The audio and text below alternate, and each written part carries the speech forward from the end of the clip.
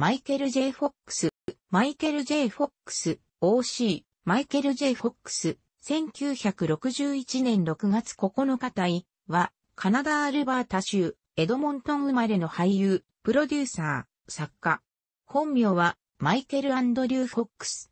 身長163センチメートル、俳優になる際に、同名俳優が、すでにいたことから、尊敬するマイケル・ジェイ・ポラードにちなみ、J の字をつけた。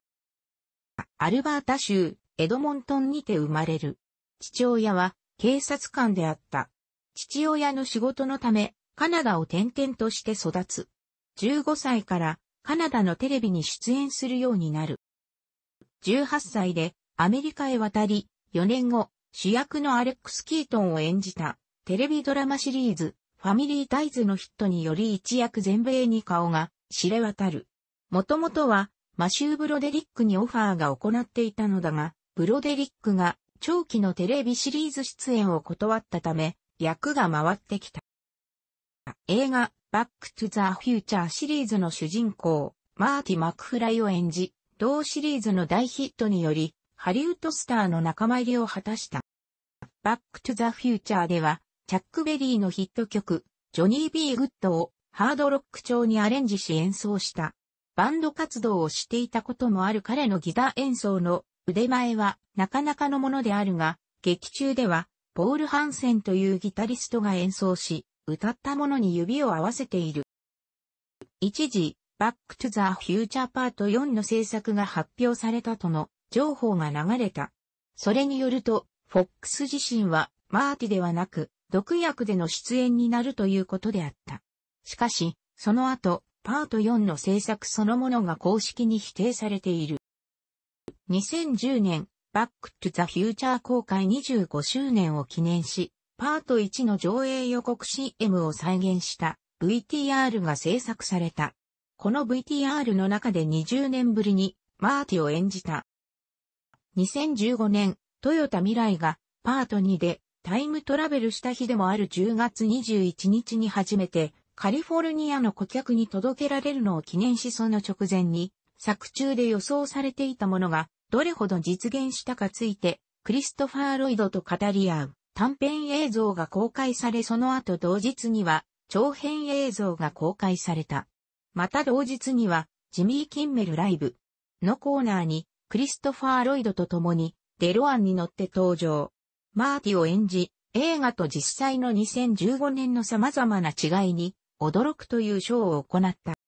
コメディセンスに定評があり、エミー賞コメディ部門主演男優賞では、ファミリータイズで3回、3年連続と、スピンシティで1回、計4回の受賞歴がある。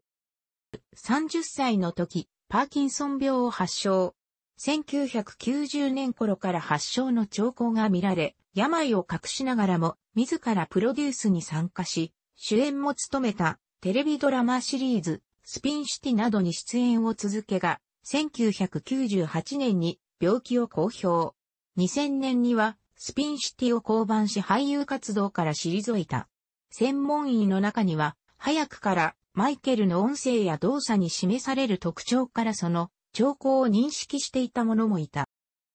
その後、パーキンソン病の研究所生活動を始め、マイケル・ J・ フォックス・パーキンソン病リサーチ財団を設立。また自らの生い立ちやパーキンソン病との格闘を綴った自伝、ラッキーマン・ラッキーマンを発売し、国際的にベストセラーとなった売り上げはすべて同財団に寄付されるという。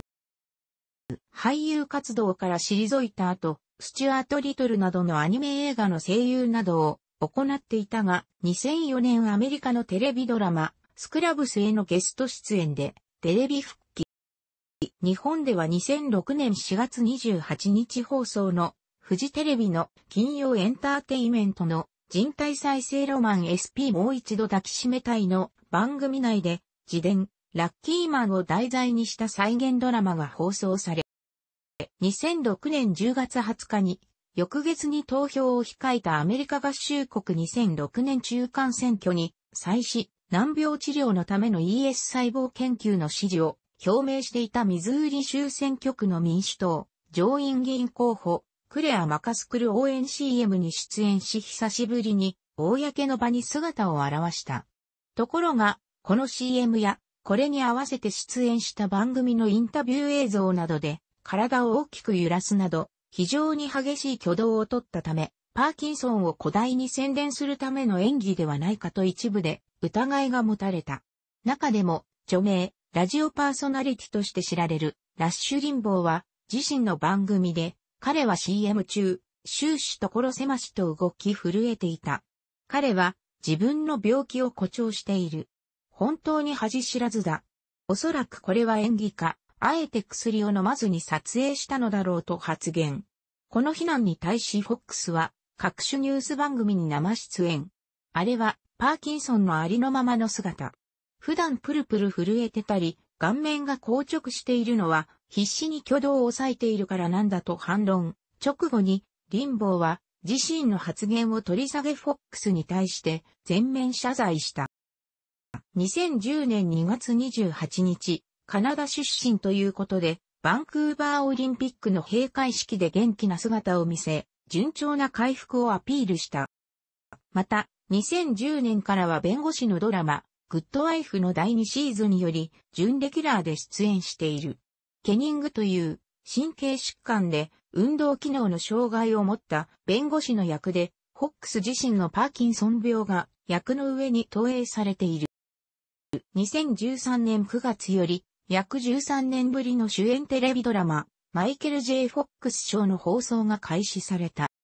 妻は女優のトレーシー・ポラン、子供は長男のサム、双子の娘スカイラー・フランシス、アクイナ・キャスリーン、三女のエズメ・アナベラの一男三女。またフォックスは2006年にアメリカ国籍を取得したが、母国のカナダ・アメリカともに二重国籍を容認しているため国籍を放棄せず二重国籍となっている。1999年、エリック・クラプトンが運営しているドラッグ、厚生診療所、クロスロードセンターへの資金捻出のために、所有するギター104本をニューヨークのクリスティーズのオークションにて、薬物乱用者のためのチャリティーオークションで、フォックスは2本のギターを落札した。楽しくご覧になりましたら、購読と良いです。クリックしてください。